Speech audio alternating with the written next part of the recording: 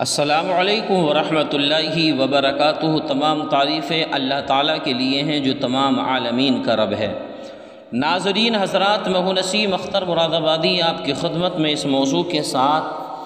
کہ سائل کے دو سوال تھے کہ اللہ تعالیٰ نے سب سے پہلے کس جانور کو پیدا کیا؟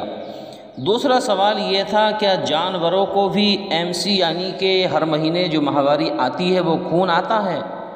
آئیے یہ دونوں سوالوں کے جواب میں آپ تک پہنچا رہا ہوں۔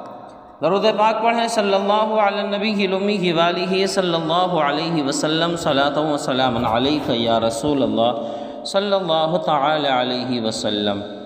حضرات، اللہ تعالیٰ نے سب سے پہلے مچھلی کو پیدا فرمایا۔ جانوروں میں اللہ تعالیٰ نے سب سے پہلے مچھلی کو پیدا فرمایا۔ حوالہ حیات الحیوان۔ وہ جانور کون کون سے ہیں کہ جن کو ہر مہینے حیض یعنی کہ ایم سی کا خون آتا ہے، تو وہ تین جانور ہیں جن کو ہر مہینے حیض آتا ہے۔ خرگوشنی، بجو اور چمگادڑ یہ تین جانور ایسے ہیں کہ جن کو ہر مہینے ایم سی یعنی کہ حیض کا خون آتا ہے۔ حوالہ حیات الحیوان۔ السلام علیکم۔